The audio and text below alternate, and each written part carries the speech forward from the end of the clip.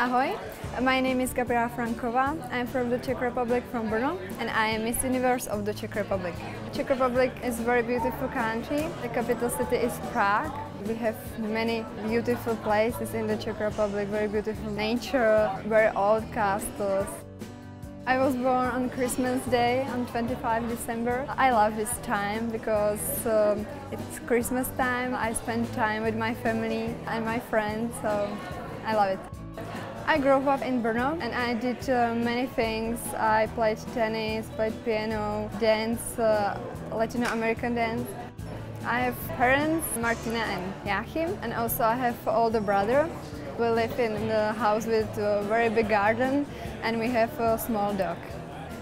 they are a little bit crazy, but I love my family. I really like to go outside uh, to the nature.